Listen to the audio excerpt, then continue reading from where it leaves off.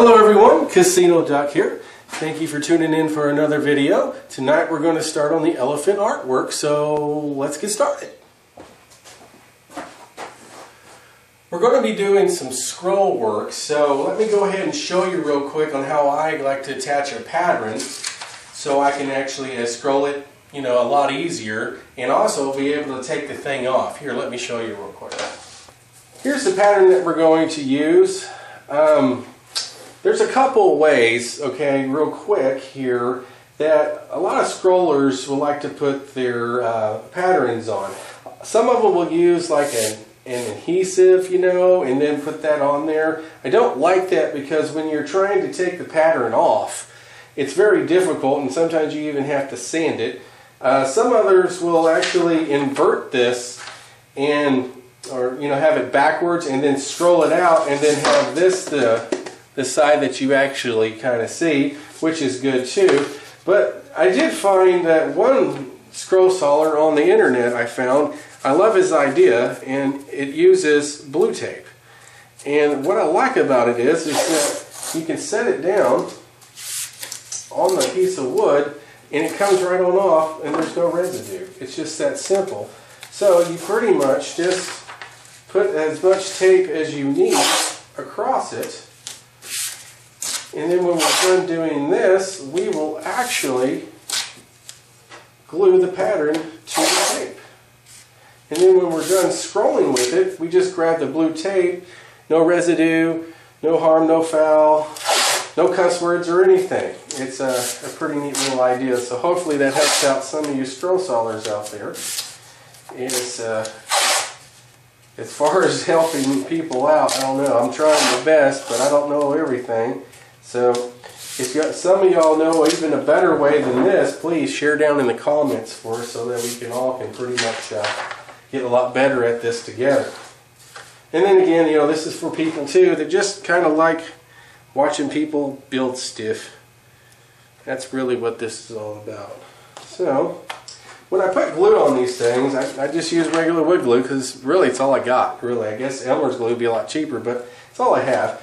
I'll look through it. I don't know if you can see that in the camera, but I'll look through it and I'll try to get the main edges of it because I just don't want the paper to come back up. You know, you definitely don't have to glue the whole paper down, but you definitely do want it down where the pattern is so it doesn't peel back up on you because that can be a booger to actually scroll saw. Actually looks like an elephant right there. Okay. Just pretty much put it down where we want it, pretty much eyeball centered. You know, I have been uh, told that if it looks straight and centered, it is. I don't know where I heard that from, I don't remember. But it seems to be pretty good. See, that's kind of high. Let's just get this down up here real quick. Alright. And that just dries pretty quick, not a big deal. What we're going to do next is we're going to take it to the uh, drill press and we're going to drill some little holes for our saw blades. We'll see you there. Okay, I used to have some smaller drill bits, those really, really, really tiny ones, but I broke them all.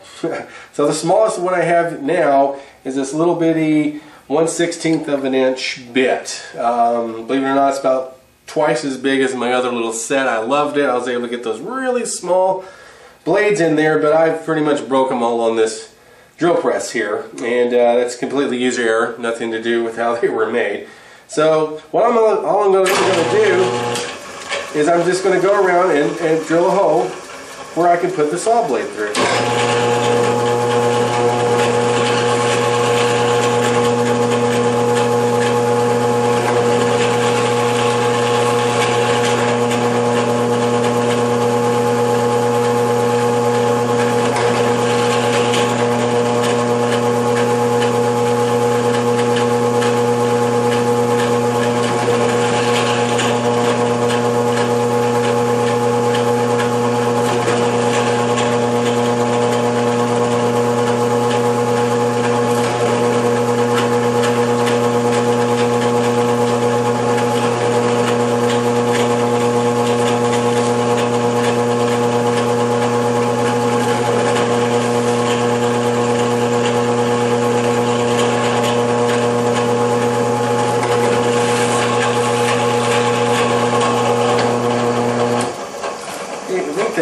Them. Nope, there's one right there.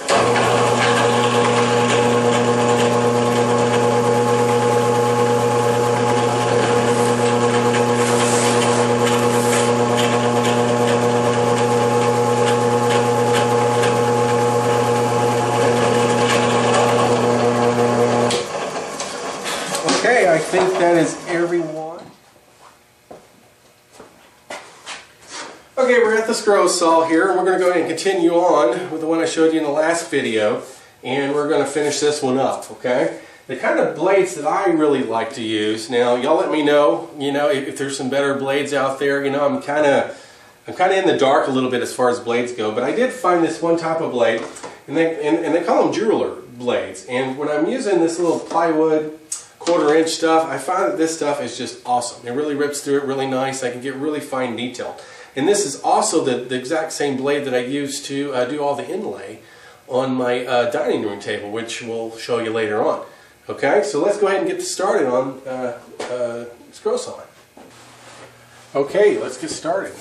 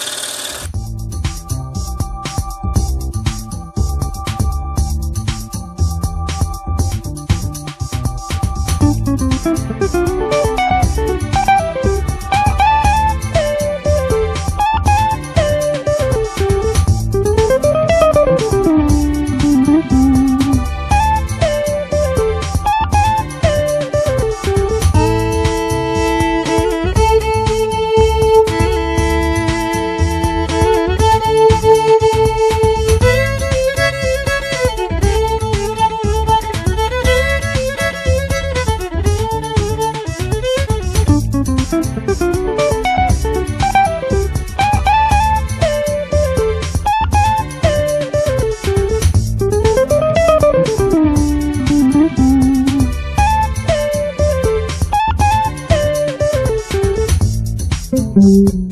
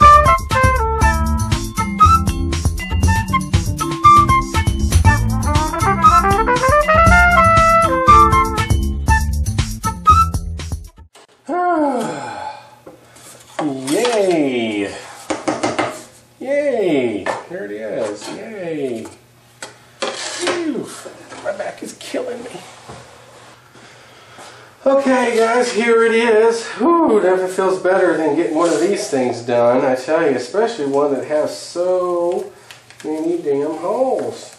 But it is done. And here's what I'm talking about about the tape. And this one's been on there a couple days too, so it's going to be a little bit harder, but still, it's very, very easy. A lot easier than that spray adhesive that a lot of guys like to use. I don't have to say a couple of cuss words when I'm trying to take it off too. It's always awesome. That helps out a little bit.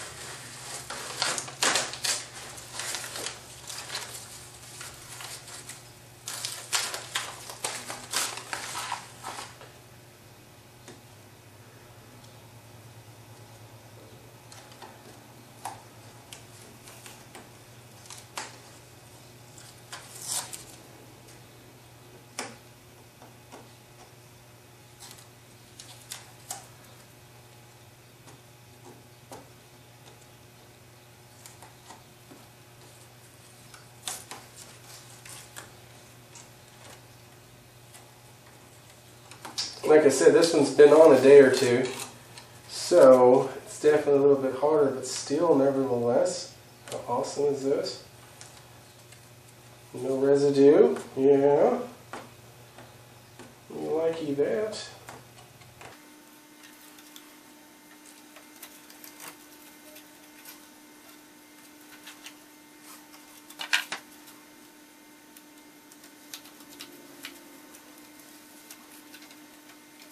Okay, and there we are. Elephant number two is done. And guess that will do it for part one. Thanks everybody for watching. And don't forget to come back for part two, and we'll see you then. Good night, everyone.